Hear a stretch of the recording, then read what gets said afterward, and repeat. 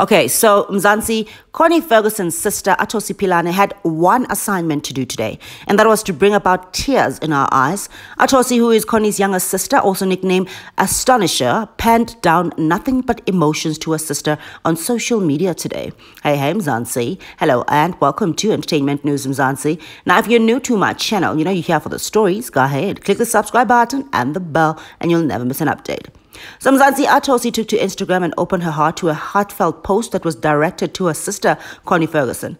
The pair has a beautiful relationship together, Mzansi, and they truly love and adore each other. In a very long yet sweet message, Atosi mentions how Connie has been her rock even since, ever since when they were just young kids. Despite being the younger sister, but a profound and tear jerking message was all the proof that solidifies their sisterhood. You became a fully responsible woman at only 19, have always carried so much in your shoulders, and have never for once given up nor complained. God did not put you where you are without a plan in mind. He knows your strength and what you're capable of, and He knows He will walk by your side and you will continue to shine, wrote Atosi. Mzansi, it comes at no surprise surprise. Looking at Atosi's timing in an attempt to comfort her older sister, if we are talking about a woman who has been through all the highs and lows, we can all attest to Mzansi that Connie is exactly that woman. One of the biggest ordeals to ever visit the Ferguson family was, of course, losing their father and husband, Shona Ferguson. Shona shortly passed last year in a hospital, and loss really took a toll on Connie.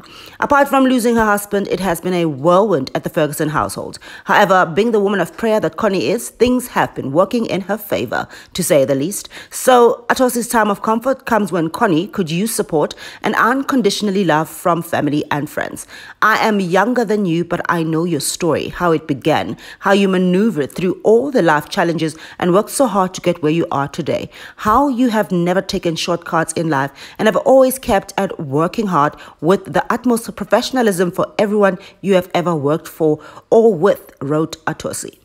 Namzansi, I think we all know the person Connie is as we have witnessed her around her kids and her late husband. She has been on our TV screens for decades and we have known her to be a lover of life, her craft and kind-hearted person. Atosi made it her assignment today to reaffirm Connie as a person to all of us through her heartfelt message. Atosi glorified Connie as a nurturer and a giving person. That is, of course, no rocket science because we have seen Connie opening doors for a number of people in the television business and nurturer, kind and loving, giving and always available to pick others up um, in time of need. Mother to many, most beautiful boss you ever have. If there is ever a weakness you have is caring too much, but that's who you are and that's what makes you the special human you are, wrote Atosi. Mzansi, true love and deepest admiration is what stood out from Atosi's heartfelt message to Connie.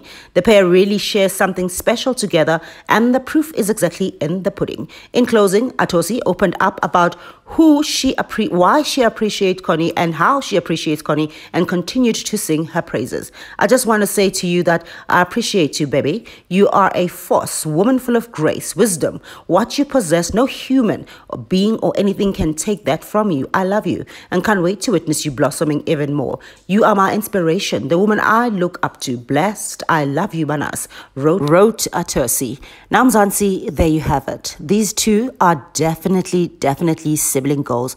And Connie Ferguson is actually one woman who really, really inspires many in Mzansi. Now, Mzansi, do leave your thoughts in the comments section below. I love to hear from you. But for now, you know, I will bring you the updates hot, just the way you like it.